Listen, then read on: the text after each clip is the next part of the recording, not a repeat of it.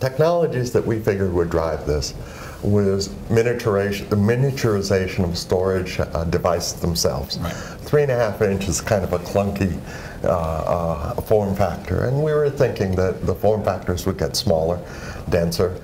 Didn't expect them to get much faster, but there was hope there. There were several technologies solid state devices that were coming along that would help that problem uh, mature. There was um, um, the evolution of the web and the possibility that certain mundane tasks could be offloaded.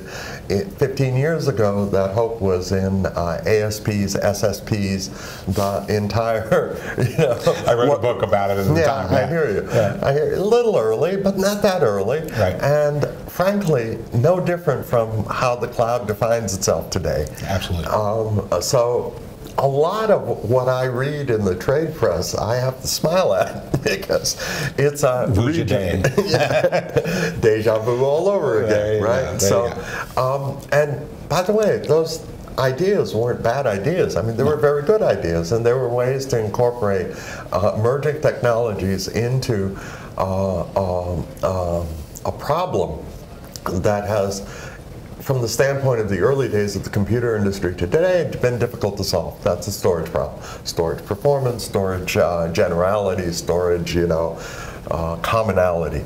So it all made sense. Problem is, is that no one of these was by itself a significant um, um, advancement without the architecture of that advancement, right?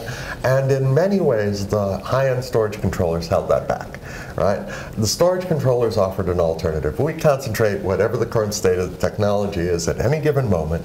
You sweep the floor, you get rid of whatever you have there, you put our big boxes in, and those big boxes will give you that if not for free, in fact, very expensively, at least with enough consolidation of, of the technology you need to be conscious of, not to have to worry about architecting your own. Right. Right? Architecting your own became a feature of, of uh, uh, uh, great heterogeneity of not just vendors, but products, of technologies.